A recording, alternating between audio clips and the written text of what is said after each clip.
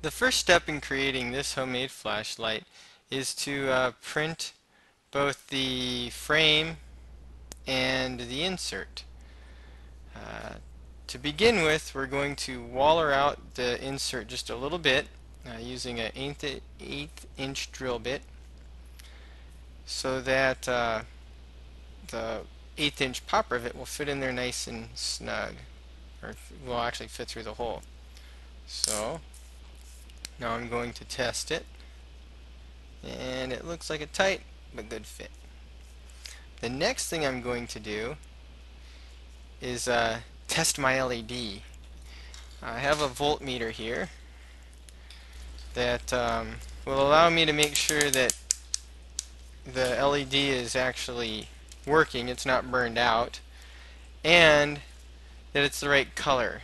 So, just set it to my LED testing and you can see that the LED is actually working. Very important thing to check before you go through the trouble of making your flashlight.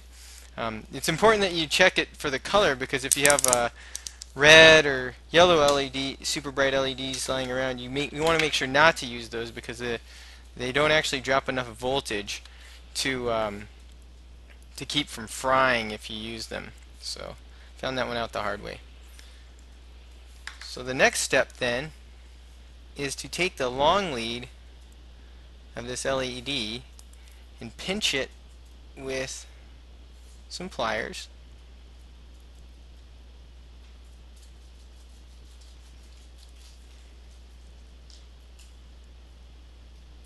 And then just bend it around the rivet like so you have a nice little ring that fits perfectly around the rivet when you're all done. Then you take the insert, you run the rivet through the back side, the short rivet. We got two different length rivets here, a short rivet and a long rivet. We're using the short rivet right now. Run it through that hole. We put the LED over the top of the rivet and then we're going to have to, I'll bend this lead out of the way. Then we're going to have to take one of these washers here, pop rivet washer, and we're going to cut it just a little bit so it has a flat side on it.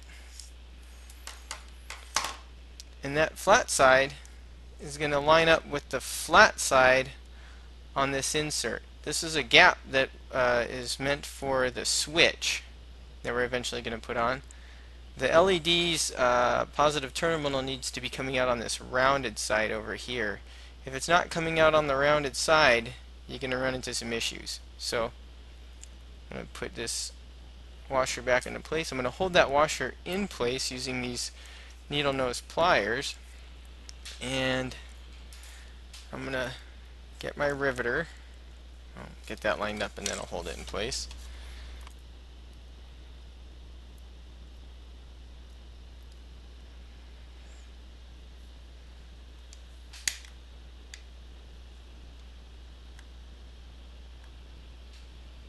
you can see that shank actually pulling down and mushrooming the top of the rivet.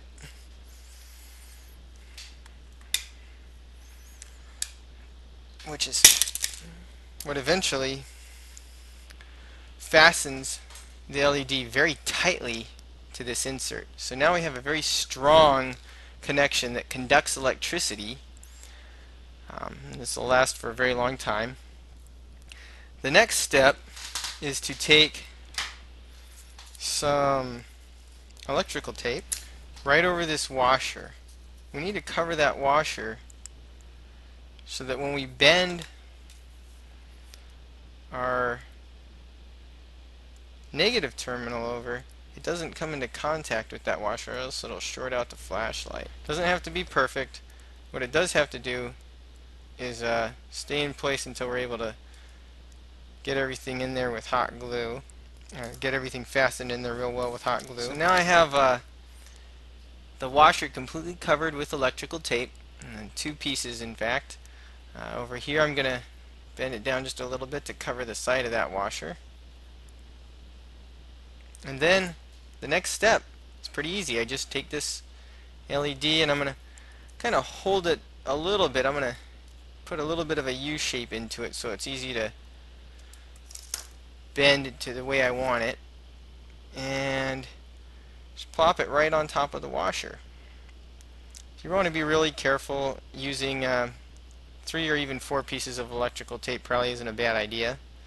Give you a little bit more of a barrier there. Alright, and then the last thing I'm going to do is bend this tab over about like so. And then clip it.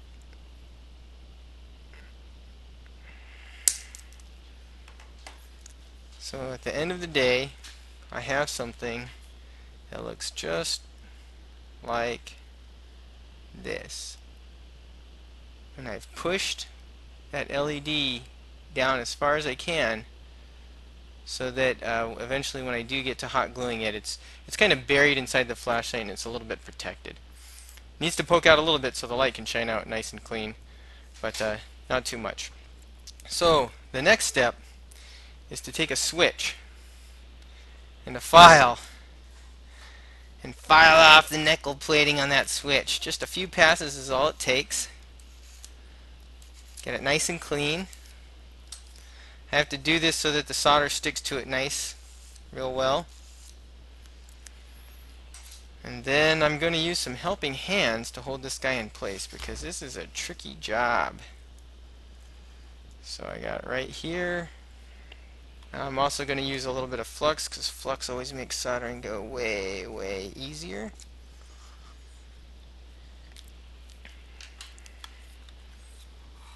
Just putting the tiniest amount right on the end here and I'm heating up that copper so that this flux actually sticks to it.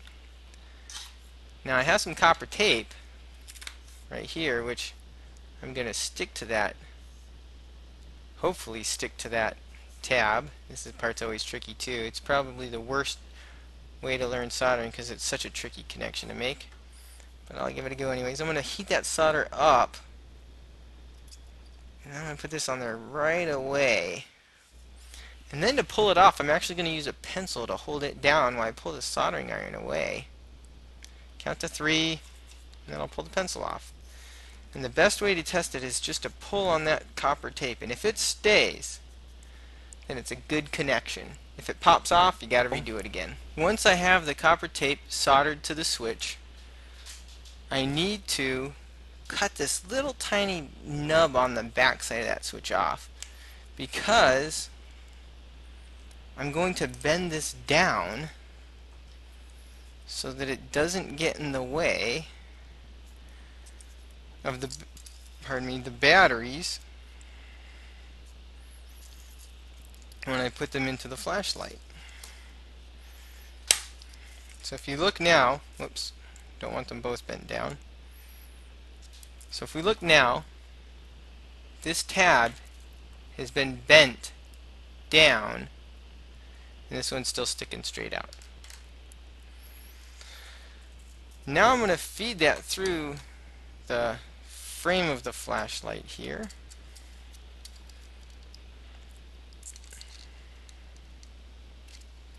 I'm going to use a pencil to kind of help jam that tape down. I'm not going to put the flashlight in all the way quite yet, or put the switch in all the way quite yet. I'm not going to stick the tape on yet either. I'm going to put it in just a little bit and then I'm going to put this insert into place. Getting the insert in there can sometimes be a little bit of a trick. There we go. And then I can push this switch in all the way. I want the lead of the LED to be on top of the flashlight's tab, the switches tab. So now I can see that if I push the LED over, the its little lead touches the tab down inside there. The next thing I'm going to do is uh, dab that connection with a little bit of flux because as always flux makes all soldering easier and then I'm going to get a nice big blob of solder right on the end of my soldering iron nice big old blob and then all I have to do is touch down just about two seconds and I have a really nice solid electrical connection. The next step is to test this and make sure that everything's working. So, put in my batteries, flip it up, and I can see that yes, the light works. I've done everything correctly. Okay, so now I'm going to take this tape and fold it back just a little bit so that it makes a little tab covers the entire back side of that battery and then I'm going to cut off this little bit of excess right here there we go so the main part of the flashlight's pretty much done now I need to make the back part. And to do that, I'm going to take a little half inch PVC end cap here and drill a hole in it. And I'm going to go fairly slow because if I go slow, that hole generally comes out more in the center of the cap. So here I go. Got a nice 2x4 behind it so I don't drill through my counter.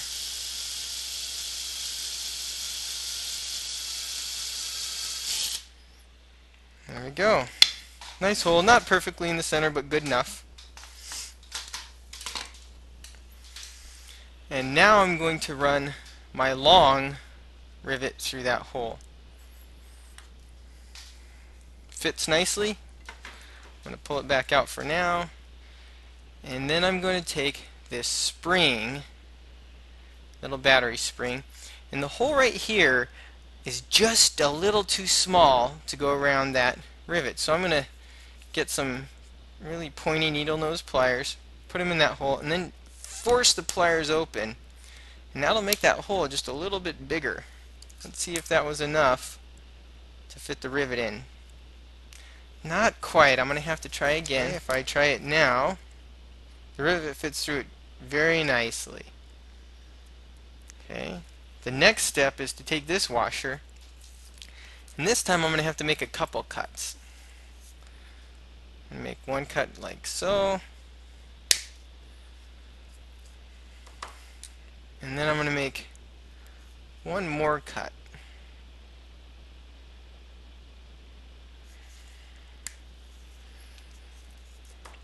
So that at the end of the day my washer is shaped like that. Then I'm going to take my pliers and I have to sort of bend this spring a around a little bit. I need to take the bottom loop and pull it up enough that I can fit that washer in between the bottom loop and the rest of the spring. So now those two holes line up.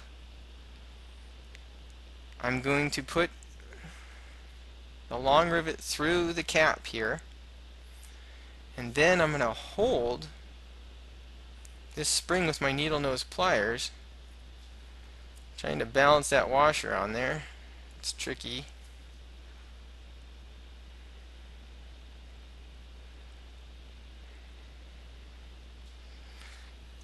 and then fit that cap right on top. Once you get it, you'll see the rivet going through the bottom, through the spring's first loop, through and then through the washer. Once everything's lined up, just take your riveting tool, apply it on the back side here, and just squeeze, pull that rivet through. Now the spring is secured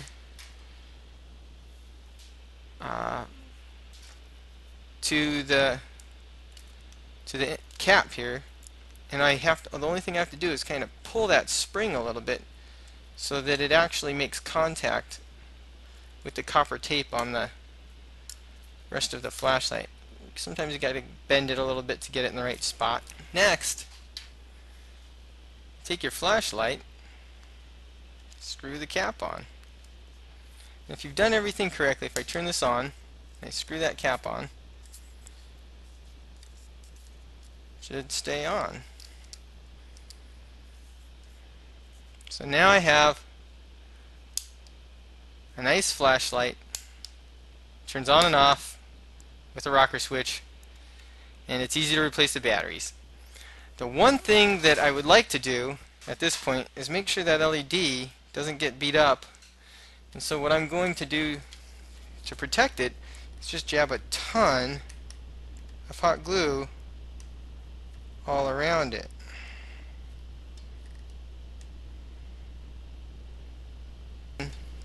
Once it hardens, you can just take a razor blade around the edges and cut the excess off so that at the end of the day you have something that looks just like this.